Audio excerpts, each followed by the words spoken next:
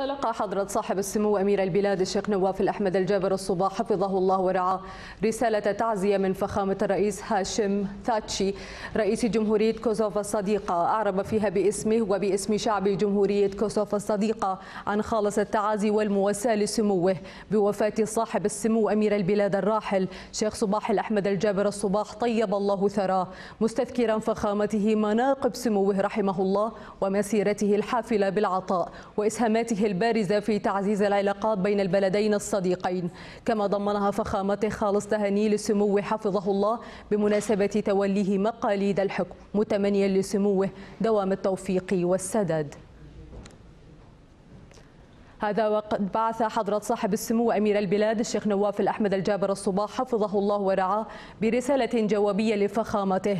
ضمنها بالغ شكره وتقديره.